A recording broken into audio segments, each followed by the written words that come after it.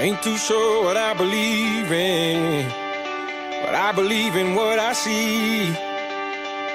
And when I close my eyes, I see my whole life ahead